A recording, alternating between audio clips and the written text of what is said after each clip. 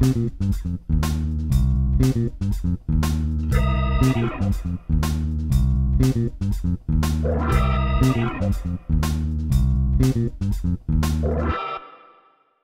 hi, I'm, Peter James, uh, ACS, ASC, and uh, I started at, at, Supreme Sound in the early days, and uh, um, I didn't really know anything about cinematography when I started. My cousin was uh, Jon Cleary, an author. He wrote about 50 novels, and he had a relationship with Merv Murphy, who ran the studio at, at Supreme at Supreme Sound, and um, um, he thought that I'd be you know, might be good at that. So I got a summer job there. Um, basically, I was I'm dyslexic, and trying to get uh, through high school was a nightmare. Um, not being able to read, um, I never finished a paper. I was just ran out of time, and uh, they didn't know, they hadn't invented dyslexia in those days. So, uh, but when I went to the studio, uh, I, I just found it was the the perfect job for me. I, I just loved it from day one, and uh, they let me stay on. I stayed there for three or four years, I think, or for no more, five years, I think. And then I went on to uh, do focus pulling for Carl Kayser and Ross Nichols on uh, on um, uh, Riptide at, at, at and that was uh, that was a big learning curve. Working on a BNC rack over camera um, with a with a viewfinder flopping around on the outside, and you know the big old BNC lenses and um, uh, that was like real the real theatre theatrical stuff, which I wasn't sure whether I was going to like doing theatricals because I was really into um, TV commercials at, at, that stage. But I found that I really did like doing drama, and um, I went on went freelance then. I think David Gribble went freelance about the same time. He'd been on Skippy, and we were like the, some of the first two freelancers out there as camera assistants, and then I ended up doing some documentary work. I wanted to, I wanted to learn about camera operating and finding the editing points in the camera, uh, which is a very hard thing to explain to somebody how to find the cutting points. But uh, documentary guys and news guys all know how to do that sort of thing, whereas people in drama don't. I did some short films. Uh, did a great short film with uh, uh, Don Crombie, the director, and um, that was um, uh, Who Killed Jenny Langby, which was a, a docudrama, which was my it still is one of my favourite mediums. i would love to do one now, um, where it's shot like a documentary. It's about a family, what happens when this woman commits suicide, and and they interview her before she dies, and then they go back and interview the family after she died. So the first bit was done in black and white film, and then the her her acts her her suicide when she jumps leaves the baby on the on the train platform and jumps in front of the uh, the train. That was shot by my camera assistant, who was a stringer with the ABC. He had a he had a wind up Bolex, so I gave him hundred feet of black and white and said, "Away you go. You shoot it the way you would want to shoot it." So he jumped down on the tracks and you know did all that sort of stuff, and uh, they cut all that in, and then we come back with Anne, Anne Deveson to do the interview with the family after the, the and interview the social workers and interview the family, and we did that in colour. Well, I think people thought it was real footage because it looked completely differently. The photography was completely differently, and that's when I realised this is great fun. Like lighting, the the black and white stuff was done really raw and really just one light bulb and hard shadows and real nitty gritty sort of stuff, and then the magazine stuff was done with the interviewer was more professional. Like they brought a soft light in and they they lit it up a bit, and it was a little bit more, you know, um, a little bit more controlled in the photography. But um, I thought it was a really that sort of sparked my interest in thinking, well, in one film you don't have to have the same look; you can change the look, and I've done that in several films now, where the where or the look progresses from from one end of the start of the film to the very end of the film. Miss Daisy is a good example of that. Um, uh, the man who sued uh, the the, the um, Mao's Last Dancer, where I for the Chinese footage I only used half the frame of, of shot on film. We only used fifty percent of the negative, and then when we go to America, we use the full one eight five um, frame. So I wanted to get a very different look. And then in the DI, of course, you can do a lot more adjustments as well. But to get the grain and the texture of the of the early china, um, so and those things can marry together very well in a film. Um, Geoffrey Unsworth was my hero at the time, and uh, I'd watched him work on Don Quixote. I went down to do a documentary for Channel Seven of Don Quixote, and uh, of the filming, and then I stayed on and uh, just to watch um, Geoffrey lighting. I'd climb up into the gantry and lie on a plank and look at him for hours, walking around the stage and looking what Tony Tegg, the gaffer, was doing and how the camera was being moved on this big, heavy McAllister dolly with a, I think it was a, I forget what the camera was. I think it was, It a, was a BNC. BNC with a big zoom on the front of it. But uh, watching him light was uh, was life changing uh, for me, um, and I saw that you could do things. The thing was to have the the dream, have the imagination, to have the big picture. Geoffrey did a thing where um, a cart is comes onto the stage and. Um, uh, the actor jumps off the back. I think it might have been Nureyev, and um, there's big windmills in the, uh, as a setting, and it's a big, big stage.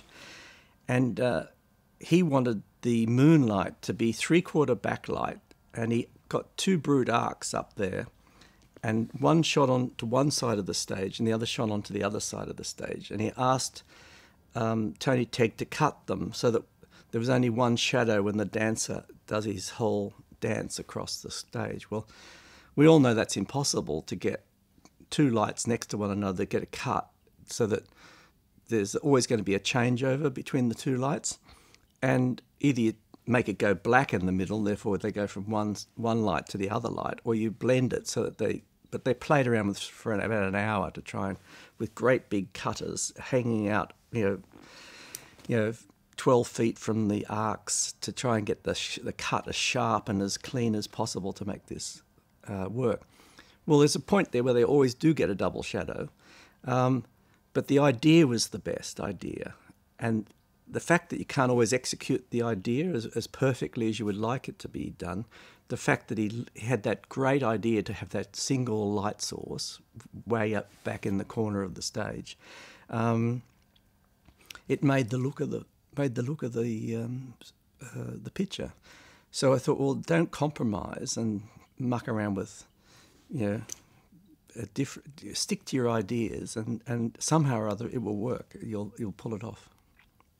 The technical side of filmmaking has changed completely. Uh, when I first started, it was hard light, black and white, and uh, it was a you know a 5K key, uh, a 2K fill through some spun glass. Um, and that was about it. There were shadows everywhere. Um, it was a slow, you know, 16 ASA Ektachrome, uh, very or the black and white. You might be lucky to get 100 ASA black and white. Um, none of the none of the fast um, films like or, or uh, cameras like we have today. So you really had to light everything up, and unless you lit it, there was nothing. Nothing was happening.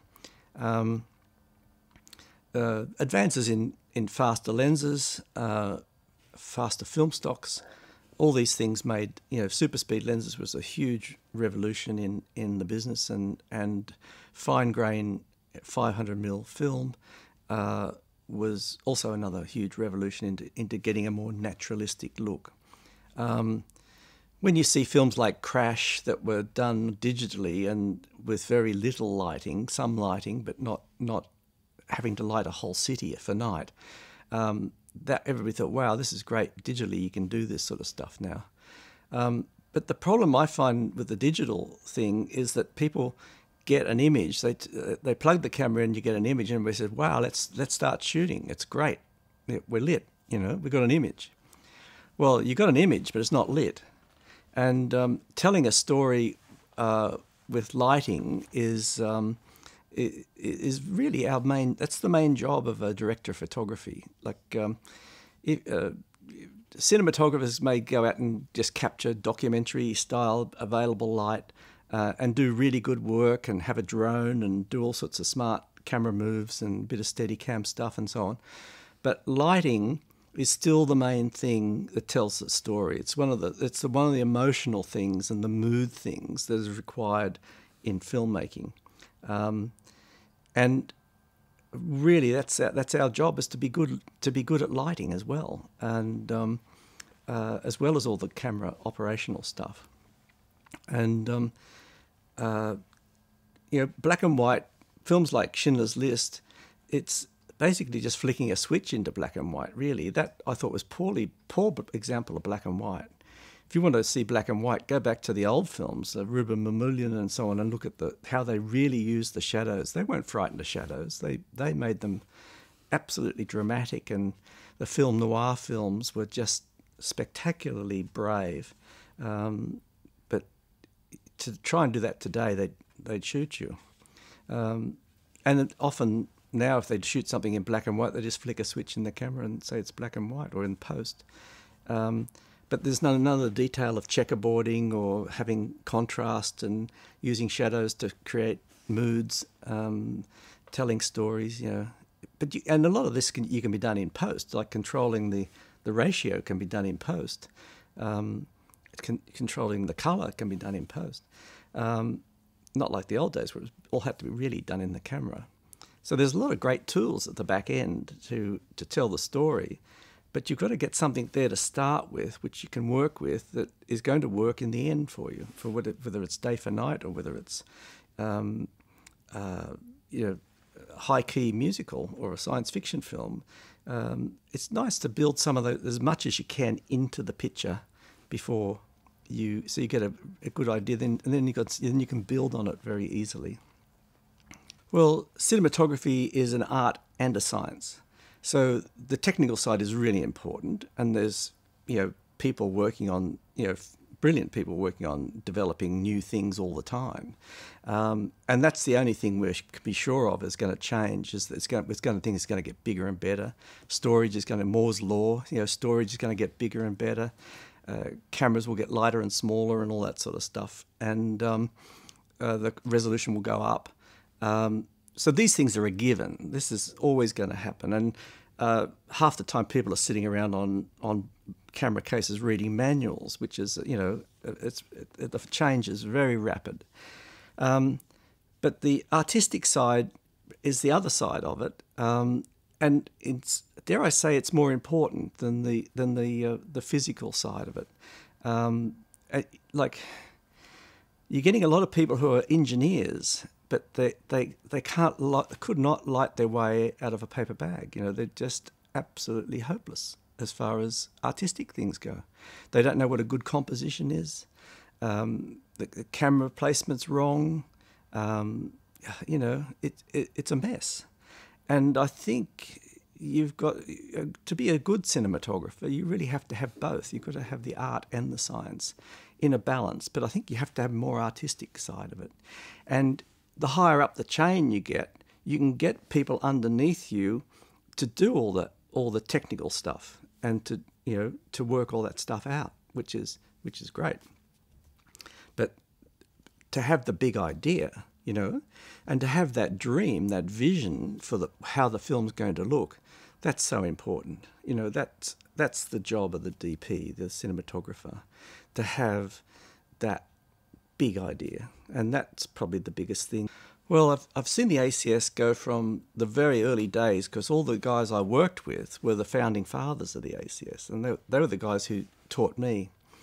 And uh, very generous men they were. You know, they they were all very keen on this um, organisation, and it was basically just a small little nucleus of guys in Sydney but we've seen it grow from go to different states, and now the states have their own awards, and the federal uh, group uh, is, does does a huge amount of work with magazines and educational things and bringing people out to Australia and all this sort of stuff. It's it's really interesting, and it's a great chance for um, to learn things. Like I know we can get a lot of stuff off the internet, and everybody says, "Oh no, I don't need to, you know to go to the ACS. I just go just look at the internet and I can get everything." Well, you can. You can get fantastic stuff off the internet.